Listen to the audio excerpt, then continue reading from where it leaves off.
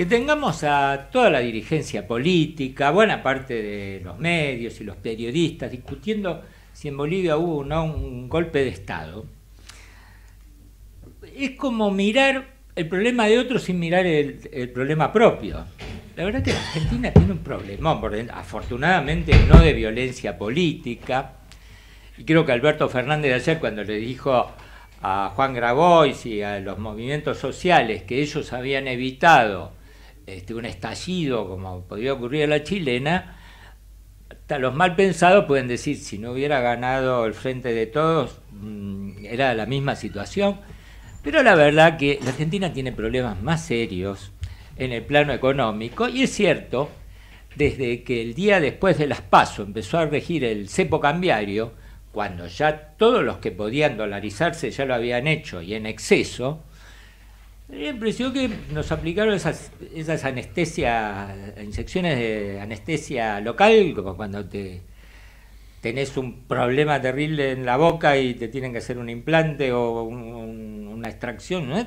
se te va el dolor, te queda hecho una tabla, el resto del cuerpo sigue funcionando. Con la economía, yo creo que el cepo funcionó de esa manera, junto con el, el sobreestoqueo de dólares, a tal punto que hoy hay más eh, venta eh, en, el en los mercados, en el oficial y en el blue que compras. ¿Por qué? Porque la gente tiene que pagar cosas, impuestos, tarifas, alimentos, lo que sea. Y parece que la economía así anestesiada está en una impas, y realmente lo está, pero está dentro de un parate fenomenal. El Banco Central pudo comprar 200 millones de dólares en reservas desde CEPO, después de haber perdido 23 mil millones desde las PASO. Nada. Pero la Argentina tiene vencimiento el año que viene en dólares de 38 mil millones. El stock es de 43 mil, poniendo todo junto, no, no la de libre disponibilidad. Claramente va a tener que ir a una renegociación. Se podía haber aprovechado esta transición para avanzar, no parece que lo va a haber.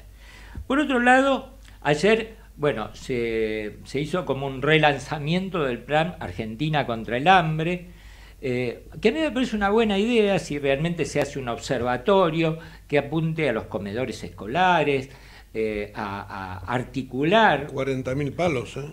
Claro, está una ley. Bueno, pero ojo, tener chicos eh, desnutridos o malnutridos. No, no, Néstor, digo, mejor, mejor que lo hagan bien porque hay 40 Exactamente, que no sea un show. En juego, claro. Poner a Tinelli puede ser darle un valor simbólico a la cosa para la gente popular. En la medida que trabajen en esto, a mí me parece bien porque un chico desnutrido o malnutrido es un chico que no se puede educar y tener igual la oportunidad que el otro si tuviera educación en igualdad de condiciones, que hoy en la Argentina se perdió.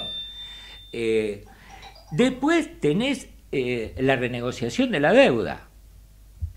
¿Con qué sendero fiscal? La Argentina empieza 0-1 este partido. El déficit fiscal primario, o sea, sin contar los, intereses, eh, de este año va a ser de un punto. Si vos querés renegociar sin quitas, tenés que tener superávit fiscal no lo vas a tener este año, difícilmente lo tengas el que viene. Quizá lo que podés decir es, bueno, vamos a mantener el mismo déficit y ahí empezamos a bajar una vez que la economía se recupere.